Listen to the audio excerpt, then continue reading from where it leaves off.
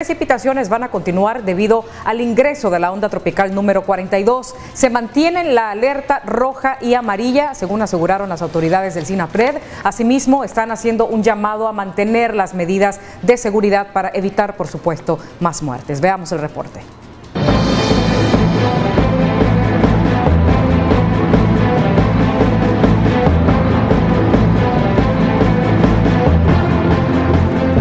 Precipitaciones continuarán en las próximas horas, según informó el director de meteorología del Instituto de Estudios Territoriales, debido al ingreso de la onda tropical número 42 al territorio nacional. Entrando rápidamente en materia, a la izquierda tenemos las condiciones en este momento eh, la baja presión siempre con un porcentaje alto a pasar a una depresión tropical ya en aguas del Océano Pacífico, muy cerca del istmo de Tehuantepec, posiblemente ya para hoy por la noche o mañana ya será una depresión tropical.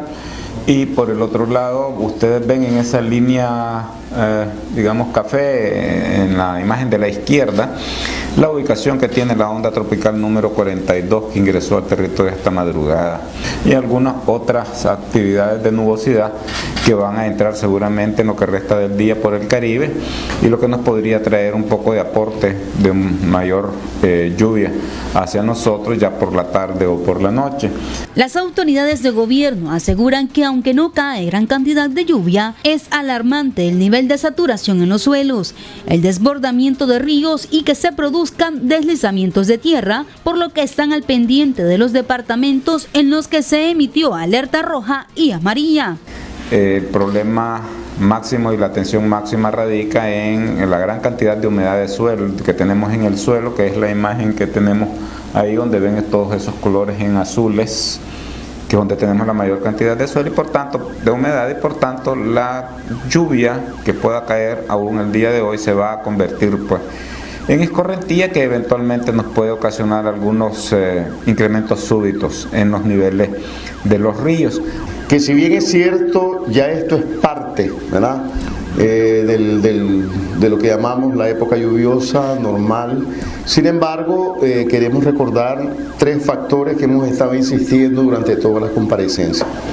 Número uno, el nivel de saturación que tienen los suelos, que eso es muy importante, por tanto, aunque las lluvias sean de baja intensidad, van a provocar que el agua corra.